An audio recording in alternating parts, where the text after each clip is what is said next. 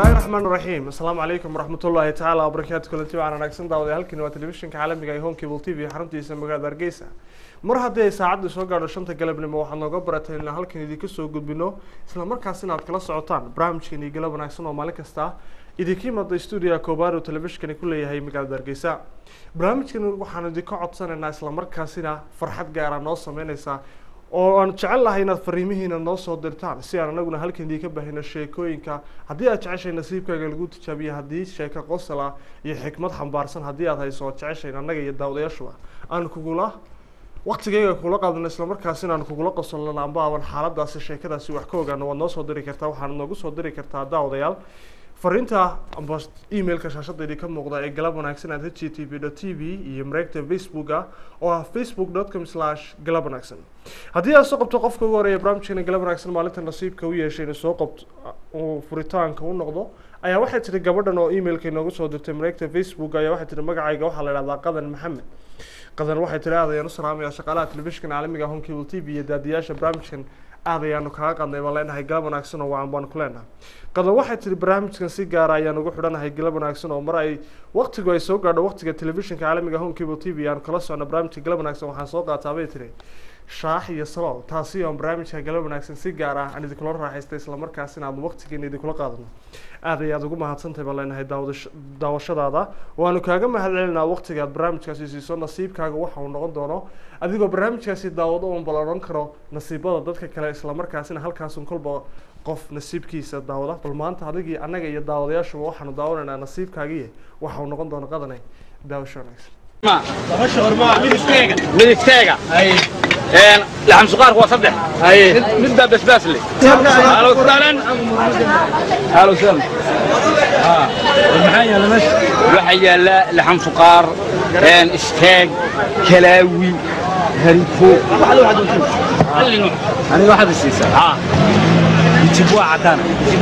آه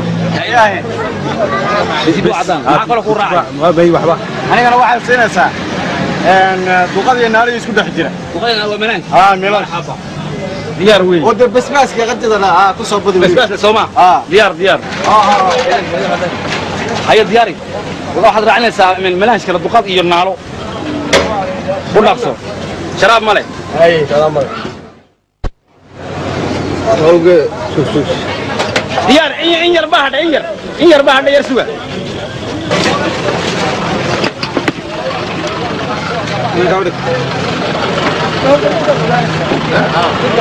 Ninkan sooma ninkan baa sooma diyaar ha.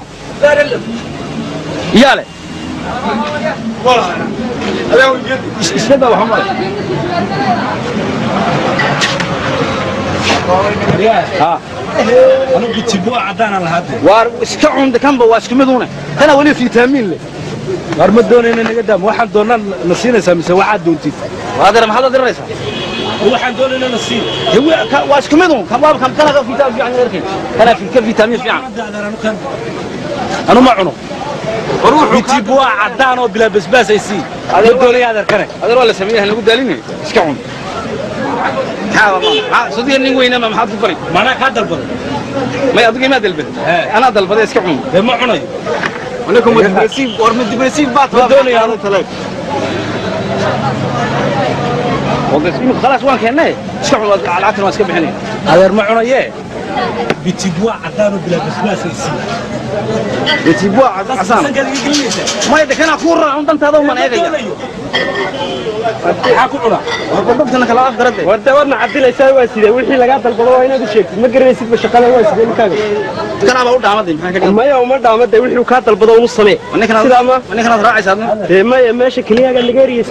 war keliya ma eriye war ma cunto waryaha war ma cunayo dee iska kaca dabada Waan- iska socotay war socon adigu inagu iska cun kana ka fitamiin fiican war waxbaa anigu cunaysa waxaan kaa dalbaday keen ma ninka wuxuu diidaa siinaysaa aniga yalla wargan la lacag baa tiri waxaan marornimadan wixii lagaa dalbaday soo sii war wixii la dalbada wixii yaalla waa kan maqaaxida xadna waa la siin iska cuna weynahayn iska dareerade waa war ma cuntaa kaa dalma waanu qasbaysaa adugu ma cuntaa kaa dalma waanu qasbaysaa yaana kala af garad anigoo maqaaxida dadka ka cadilinay uga teg waryahay warba kaama gelin maqaaxida war maqaaxida dadka uga teg waryahay soo in adeerkay maqaaxida le. Waad u barateen le inaad iska waxaad doontiin samaysan oo daarisiin shaqaala oo in adeerka hadduu leeyahay dadka ma waxaad bataa soo sinaysa yaa arwada lala yimaadaanay waryahay xeefladaada iskiibsa ha isku ciyaari maa qor ha isku ciyaari. Intaabaan dhulka kaa dhigi wallah war waa fajac iska socda arado war socodka waa macadi war de waryahay warde waayahay bal horta iska fadhiista iminka maxaad dalbatay wax kale maxaad war dalbatay waxaa dalbada ninkaana soo siiyo haye bitibuaye naala noo keenmaanle shuwaari buu noo waaye naalo ah wuxuu noo keen eeg shilka ma waxaan baa cun tamiisana imika kala ka fiican iska cun waxaan u cunay hadda anu waxaan dalbadaa lay siiyo lacagteedu waan astaan lacagtaana kuu gaadhay may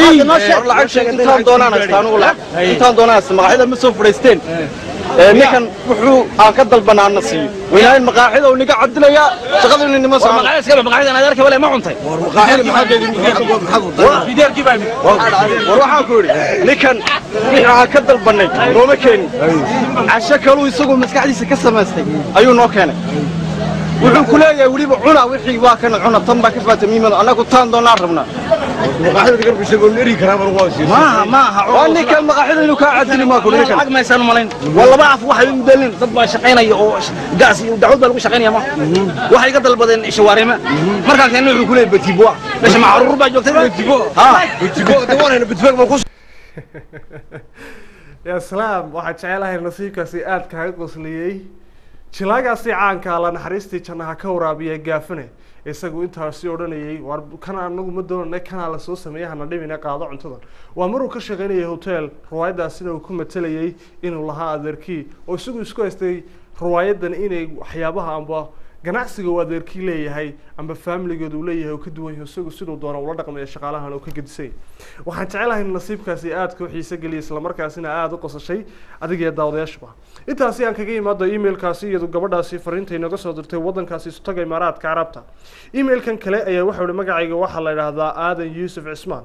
Aadan waxau ihi waxaan joogaa wadankaasi finland. Waxau ihi aad ayaan u salaamaya shaqaalaha telefishinka caalamiga honkable t v iyo barnaamijkan aad ayaanu kaga qaadnay leenahay galab wanaagsan oo wacan aadan oo nasiibkaagu waxau noqon doonana I'm here with Dwayne Black and Barbara, who wants to splatter a Guinness World Record that has stood for 48 years. The time to beat for the quickest time to shear a sheep is 46 seconds.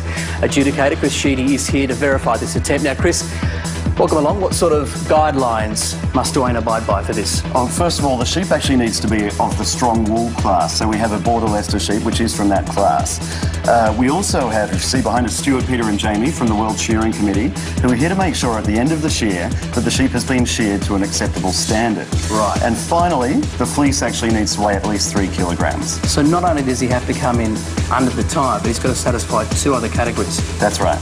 Now, this would be a competitive record, no doubt. It is Australia rides on the back of the sheep, so obviously everyone wants to be the fastest shearer. It's been attempted many times. It has, and the, and the record that's stood since 1957 is held by a Kiwi. A Kiwi! A Kiwi. Hey, Wayne! The hopes of the nation are resting on those shoulders. Are you feeling up to the challenge? I'm not nervous anymore. Well, ladies and gents, you heard it firsthand from our Aussie friends. This is a record attempt that has stood since 1957 by Kiwi Godfrey Bowden. Dwayne's already off. He's going to need a lot of luck. This is an incredibly tough record time to beat. Dwayne will strike the sheep with around 35 blows, and the time ends when he pulls the cord to stop the shears. Now, the sheep's behaviour is absolutely vital to this record attempt. One erratic move, a kick of the legs, or too much struggling, and it could spell total disaster for Dwayne's record attempt. But it looks like he's doing well with plenty of support from the crowd.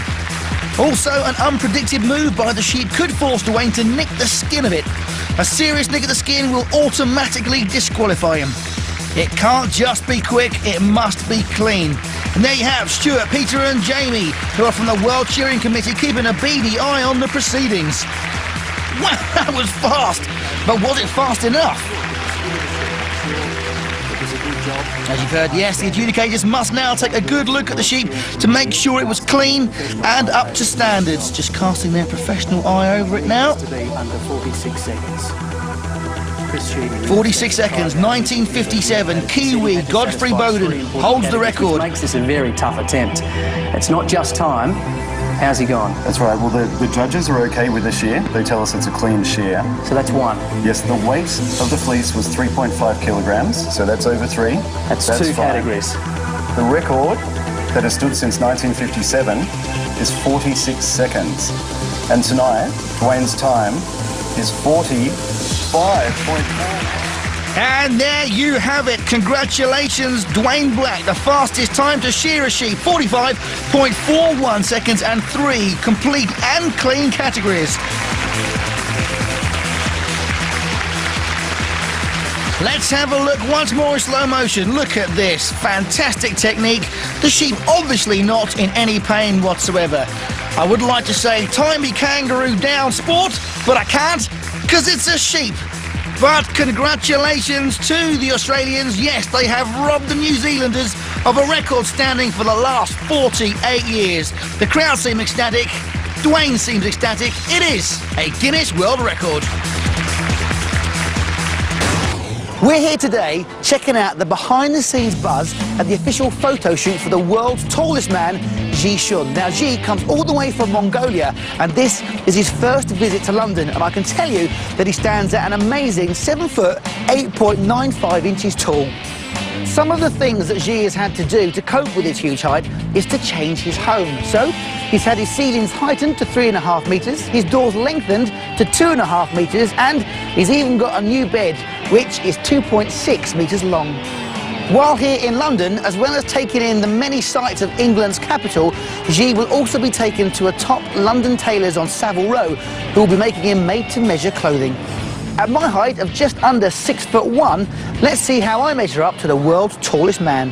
I've got to ask you a very important question. You please tell me some of the, you know, the impracticalities about being so tall 地方方面不方便。没什么地方不方便啊。是。 Um, it's not not much incon- inconveniences. It's quite okay to be tall. It's okay. Now I hear as well that when you were up to about the age of 16, you were kind of, you know, a fairly normal height, and then suddenly you just shot up. Is that 呃 true? 您您是不是以前呢、呃，也是慢慢能长的，不是一下长的。 Um, it was. It didn't happen overnight. No. waxaan jecelahay inuu nasiibkaasi ku qancayay daawadahaasi emailkii naga soo diray caasimadda waddankaasi finland ee helsinki. Waxaana jecelahay nasiibkaasi inuu ka turjumayey waxyaabaha kala duwan ee buugga dhacdooyinka la yaab kale lagu qoro isla markaasina qof kasta oo bini aadani inuu wax qaban karo oo wax la yaab leh samayn karo haddii allah awoodda la idmo uu la garab galo. Waxaanay ku xidhan tahin qof kastoo bini aadani uu la imaado waxyaabaha waayo qof kastoo bini aadana ilaahay waxa uu abuuray inuu fikir yeesho isla markaasina hal abuur iyo curitaan uu yeesho haddaba buug ninkaasi isaga lagu qoray ee ninkaasi ugu dheer dunida isagu waxaasi buugga genius world record buugga isagu hibadaasi ilaahay siiyey ku qaatay iyo ninkaasi kale ee isagu dhogortaasi rida kaga rifaayey wax dhowr daqiiqo gaadhaya isagoo aanu jidhkeeda xubin yar oo ka mid ah aanu saraynin. Waa mid ka mid ah hal abuurka dunida amba corinta qofka bini-aadamka u samaysan yahay inuu wax sameeyo islamarkaasina fikir ka gedisan oo noloshiisa ku soo kordhin karo. Waana taasi uu ku qaatay buugga dhacdooyinka la yaab kale aan hore loola iman uu ku qaatay ninkaasi. Intaasi aan kaga imaado emailkaasi daawadahaasi inooga soo diray caasimadda waddankaasi finland ee helsinki. Aan soo qabto emailka xigaa ee hadda isagu inoo soo dhacay ayaa wuxuu ihi magacayga waxaa la idhahdaa fatuux maxamed. Fatuux waxay tihi waxaan joogaa caasimadda waddankaasi kenya ee nairobi. Waxay tihi aad ayaan u salaamaya shaqaalaha telefishinka caalamiga home cable t v iyo daadiyaasha barnaamijkan. Waxaan leenahay aad ayaad ugu mahadsan tahay. Alla saliimka salaantaadana waanu kaa qaadnay gala wanaagsan oo wacan baananu ku leenahay fatuuxe waxay tihi fatuux aad ayaan ugu mahadsan tahay barnaamijkan galab wanaagsan sida dhiiran aad adiga iyo khadar iyo safiya aad noogu soo daysaan. Waxaan idinka mahadcelinaynaa waqtigaad naga haqabka tirtaan waxyaabahaanu jecelahay hadday noqoto dhankii dhaqanka hadday noqoto dhanka riwaayadaha hadday noqoto dhanka heesaha noloshu. Marxalado kala duwan ayay leedahay. Aad ayaad ugu mahadsan tahay baan leenahay fatuuxay si gaarna waanu kuu salaameynaa bal nasiibkaagu waxa uu noqon doonana. Dawasho wanaagsan waxa uu noqon doonaa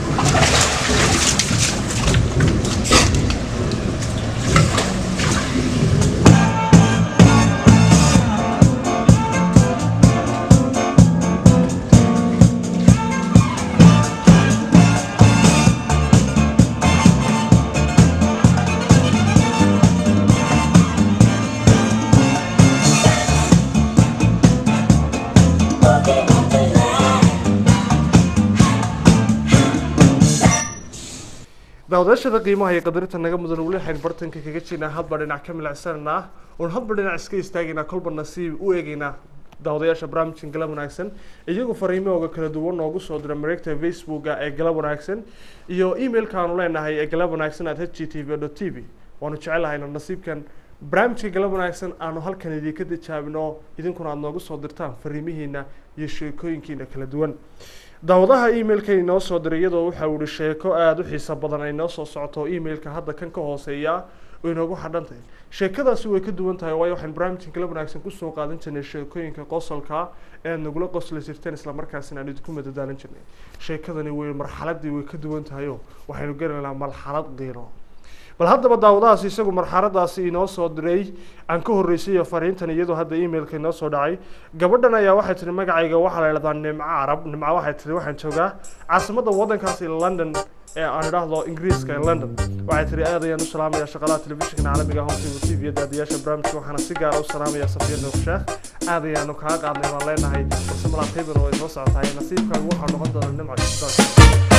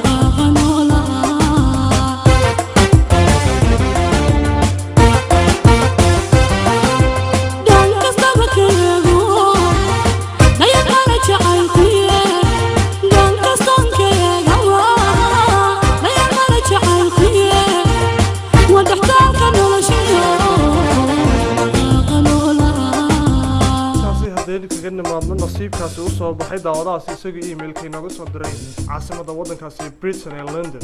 Heestaasina aan jecelahay in ay ka turjumaysa ambaan odhan karaba qofka biniaadamka nasiibka u soo baxaa kama turjumaysa shakhsiyadiisa iyo waxa uu jecel yahay. Balse haddana marka dhinaca kale ka eegto khubrad dunida ka tirsan ayaa waxay aaminsan yihiin nasiibka qofka biniaadamkii maadaama uun is ogeyn waxa u soo baxaya in haddana qeyb yar oo ka mid ah eh, waxa uu jecel yahay inay kaga jiri karto. Waa fanaanadaasi hodan cabdiraxmaan iyo fanaankaasi kale ee nuur nuur cadde ee isagoo heestaasi dareenka kalgacaylka muxubada de waxyaaba badan bay heestaasi isxambaaratayo aniga laftaydaaba dareenkaasi kalgacaylka lamaanahaasi maasha allah bal intaasi aan kaga imaado malaa waqtigan jawigan magaalada hargeysa waqtigan kusumegi su ku sugan aynu ku sugannahay iyo lamaane kalgacaylku dee sidaa aan odhan karo malaa wuu biyo dhigtayba way hafanayaanba ku sugan yihiin maadaama jawiga iyo heestaasi kalgacaylka ay islahaayeen intaasi aan kaga imaado emailkaasi isaga daawadahaasi inooga soo diray waddankaasi ingiriiska. Haddii aad soo qabto daawadahan isagu emailka inooga soo diray mid ka mid a gobollada soomaaliya balse aanu magaca gobolkaasi uu joogo aanay inoo sheegin. Waxa uu ihi magacayga waxaa la idhahdaa axmed ismaaciil waa qoraa sare oo ka tirsan buu ihi waxna ku qoraa mareegaha kala duwan iyo wargeysyada kala duwan ee ka soo baxa dalalka geeska africa waxa uu ihi aad ayaan u salaamaya goorreyn badaadiyaasha barnaamijkan galab wanaagsan iyo shaqaalaha telefishinkan caalamiga home cable t v. Aad ayaan kaa qaadnay baan leenahay? Waxa uhi sheekadan hadda idii haya way ka duwan tahay sheekooyinkii hore barnaamijkan galab wanaagsan. Aad ku soo qaadan jirteen?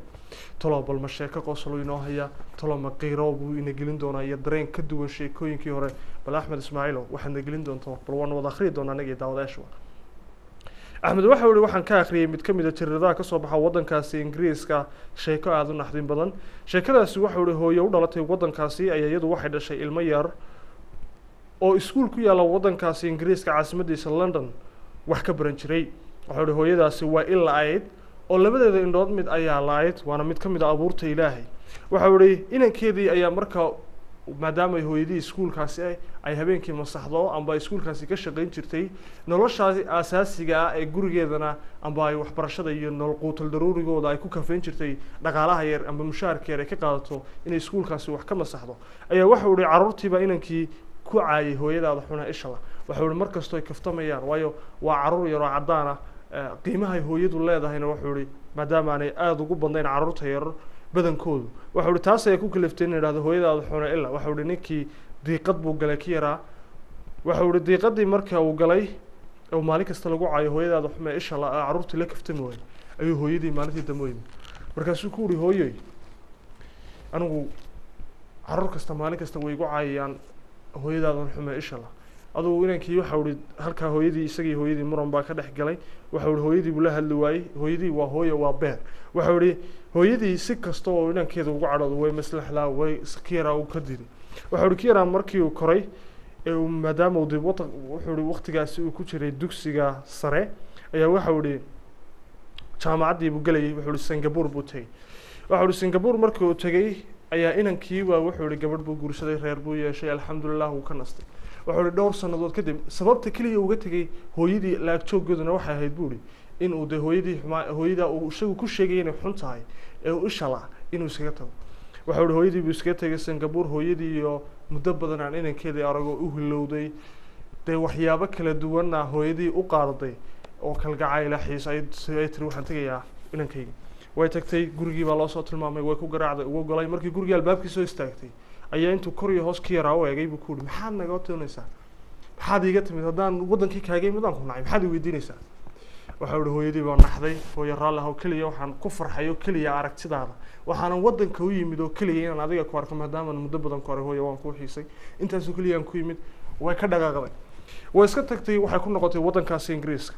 Muddo kadib waxaa dhacday markii muddo inankii dee caruura dhalay oo reer yeeshay ayaa waxaa dhacday isagoo ku sugan singapore ayaa iskuulkii ka soo baxay waxa uhi dadkii magaca waaweynaa ka baxay iskuulkiisii ayaanu u sameynaynaa casuumad waddan kastoy joogaan ha ka imaadaan ha imaadaan ingiriiska waayo buuhi caasimadii adigu wuxuu damcay inuu hooyadiina soo eego waa hooyadii uu nacay dhowr sannadood ka hor ugu dambeysay. Ayuu doonaya haddana bal inuu ku lifaaqo casuumadaasi uu ka helay iskuulkiisii. Waxa uhi markii iskuulkiisii ka yimid ayuu is ihi hooyadii soo eg gurigii buu galay wuu garaacay gurigii aanu nafar cidba aanay joogin. Carruurtii kalena dee ula dhashayna ay kala qabqabteen amba ay hooyadii dee maadaama ay ka guurtay hooyadii ay ka dhimatay ma inay kala tagaan. Wuxuu ihi markii ka tagtay gurigii soo galay hooyadiina way dhimatay. Waxau ihi gurigii ku xigay buu soo garaacay nin hooyada halkay ka dhacday isagu ninkiioo murugeysan waxaa lagu ihi hooyadaa in dhoweedba way xanuunsanaysay. In dhoweed ma xanuunsanaysay way dhimatay. Alla yarxama waanu aasnay. De waa ku kaa markaasuu ku yihi haddana warqad bay kaaga tagtay bal gurigii ka soo eg wuu tegey gurigii warqadii eegay fariin dheer oo hooyadu de de waa kii hadraawibo lahaa habaaska inaad cuntuugto adoo hanadaan ka doortay xaggayga hibaan ku saaray anigu ku habaari maayo. Waxau ihi tii oo kalaaba ku soo baxday hooyadii dhammeyd ee unankeedii waxaa ku sameeyey ayaa haddana fariin kalgacayla u soo qortay inankii ku tiri hooyo waxaa farxad gaara ay ahayd in aan kugu imaado waddankaagii muddo badan aanan ku arag waan ku arkay waan xanuunsanayey muddo badanna waa la ii sheegay inaad iman doonto waddankan ingiriiska iskuulka ku casumay laakiin markaa la ii sheegay sariirta ayaan jiifay oo aad ayaan u xanuunsanayay. Waxay tihi waan jeclaan lahaa inaan isragno balse waan kaa hor dhintay laakiin waxay tihi haddii aad adigu ila aan lahayd ishayda ayaan kugu bedel lahayn adiga dartaa kuu saari lahaa. Inankii ay dhashayna waa kaa isagu intuu ka dhaqaaqa dee meelka dee ku hooyadii dhammayd ku dayriyey hooyadaa way laadahay bal haddaba sheekadaasi aadka naxdinta badan qisada badan inankii meeluu noloshiisa ku dambeysay. Bal waa kan hadraawi isaga gabaygiisii ahaa habaaska inaad catuugto anoo hadana adoo hanadaan ka doortay xaggayga hibaan ku saaray. Anigu ku habaari maayo huq baasay ku raadinaysa bal hadraawi oo isagu gabaygiisa hooyada inoo sheegaya ayaa waxa uu isna ku lifaaqayna islamarkaasina ku lamaanayna hooyada qiimaha ay qof kastoo bini aadana ku leedahay waatan guri calaf baa xukuma hantina dhaqan baa shushuba dadkana hidihiisa guud wixii la hayaa dhex yaal xaqiyo u halbuuxintiisa habboonkiyo waalidkiisa hilbiyo ku arooritooda siduu uga hawl yaraysto halmaa laga yeeli maayo. Hawiye tumashoy dhashayda tumashoy dhashayda ka daa haadiskaaga barbaar hanaqaad ku leexday duciya habar qaadan waayey ciriyo heeguu noqdaa hadhayse dhulaan aqoonne hoygii madhan wiilashiisa haween dumar baa ka sheegta hablaa kacay baa u yeedha haldhaa jecel baa u qaybsan. Inaan hadlo maan jeclaysan baxnaanana maan hor joogsan hubsinana maan ilaawin hoggeediyo xaajadayda dareenka haloosigiisa hugiisa inaan ka qaado hayaan ka fogaaday baa leh markaan cidla hiil ka waayey naftayda halaan halkeeda waxaan huri waayey sheego haantii lulata ay dhegayso haantii lulata ay dhegayso hoobaanta agtaada taalla hadhiinadu baadi weeye hashii korisaa u ciilan qofaad halabsaaridiisa daryeelka horseedadiisa dadaalada heensihiisa habeenna ka seexan weyday markuu hagar habeenna ka seexan weyday ku meel maray heegantaada. Markuu hagar kuu banneeyo dharaarku haleeli waayo. Hortaada waxaa yimaada sidaad ugu heelanayde haraadiyo waa kalkiise hilaac baxayow siday tala kaaga hoostay. Calooshu intay ku haysay hiyigu ku baxnaaninayey horaadka intaad jaqaysay dhabtaydu intay ku haysay intaad huwanay taftayda hobeeyo hobeey hobayda intaan dusha kuugu heesay intaan hanad kuugu yeedhay hawraaraha kugu ammaanay intaan hubin kuu xambaaray dartaa u hoggaansanaaday hadhuubbada aan ku siiyey habniin adigoo ku diiday intaan habbo kuu daboolay hamuun iyo gaajo qaatay adoo haqabeel ku seexday intaan hurdo kuu ilaaway ilaashay hareerahaaga hunga ay xusuusinaysa hayaydana meel shishaale ka shaahinqanaysa goorba hankaa i waraysanaya talow hebel ku foogan. Aniyo hirashaa isweynay higsiga noloshaa adkaaday. Adduun iyo haybsigiisa hangoolli-idaan ku daayey waxaan ku hagaagi waayey. Dhankaad ku hagaagsanayde adoo ka hanweyn xaggayga. Qof kuugu hanweyn dantiisa cidaad ku hadlaysay mooye. Halyeynimadaada sheelan habowgiyo dhiirintiisa ayaan halis kuu tusayne intaan kugu hawla daalay intaan kugu hooda sheegtay intaan heblo kuugu faanay. Hilaado fog bay lahayde inaan hafarkaaga qaato sidaad ku heshaa da'weyne adiga habigaaga mooye. Habaaska inaad cantuugto adoo haradaan ka doortay xaggayga hibaan ku saaray anigu ku habaari maayo huqbaasi ku raadinaysa. Hibaaq xalan maad ahayne hufnaanta dhibtii abuurtay inaanay hadhayn yaqiinso hawaale adduun rabbaa og dadkuna kale hooda weeye haddeer iyo tii haddeer hadhow iyo tii hadhow hoos iyo sare tii ku raacda. Anuubaa hooyadaay daawadaal waxaan jecelahay inaan intaasi ku soo gabagabeeyo barnaamijkeeni galab wanaagsan oo maalin kasta hadahan oo kale aad kala socotaan telefishinka caalamiga home cable t v. Waan jeclaan lahaa inaanu sii wada socno islamarkaasina fariimihiina aadka u badan. Aanu halkan idinka baahino. Haddii allah awoodda leedma barnaamijkan barnaamij dhigiisa intaynu ku kulmi doono waanigo khadar ciise dheere oo barnaamijka idiin soo saarayey sawir qaadistii iyo habeyntii oo isagu inoogu harbaxay inoogu hagar baxay cabdiraxmaan gaashale. Intaynu barnaamijkan barnaamij dhigiisa ku kulmi doono waxaan kaga tegayaa asalaamu calaykum waraxmatullaahi tacaala wabarakaatu